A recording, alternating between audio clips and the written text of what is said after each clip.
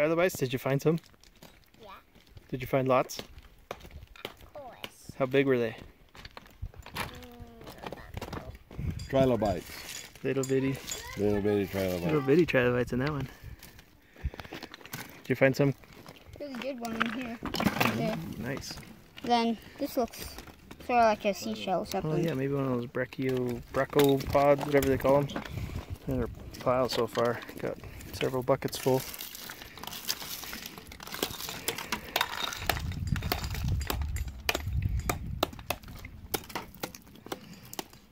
Let's look at some of these that are in here. It's a good, good uh, imprint of one. So a lot of these are the negative side.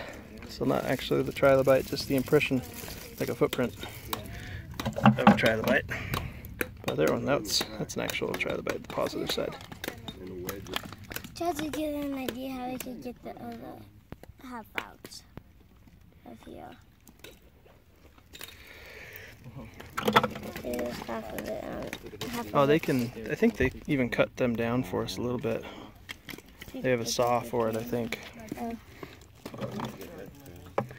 So, good load. Right there. Our pile that we got. to See what we want to keep. There you go. Let's see what we got. Some good ones there.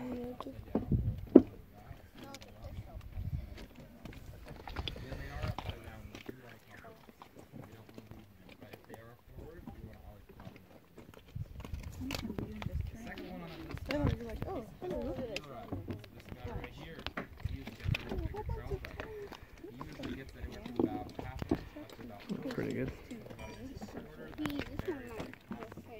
What's our What's our best one we've got so far?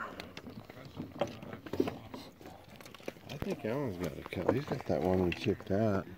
Now, do you know where mine is? I This is don't pretty know, bud. good. These two are pretty, and this was just sitting here. Yeah.